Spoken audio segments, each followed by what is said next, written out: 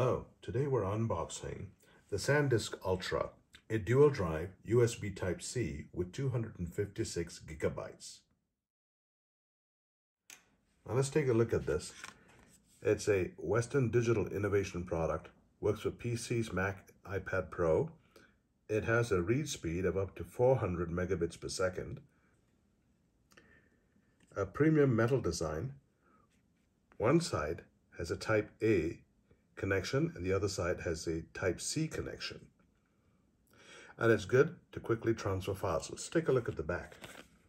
And it shows here that we've got Windows 10 Plus and here Mac OS 10.9 Plus. So let's get down to opening this. So we're going to open this. Instructions to open. Here we go.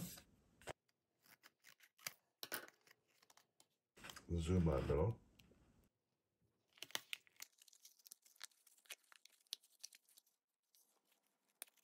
Looks like it's shrink wrapped in here, so we'll have to cut this open.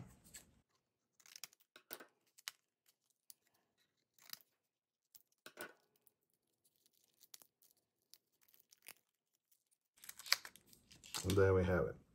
So this is the SanDisk, 256 gigabyte. And if we flip this sideways, on this side, we've got a USB-A type connector. On this side, we've got a USB-C type connector. What we're going to do here is we're going to format this and then attach it to an iPhone 15 Pro. In a separate video. Thanks for watching.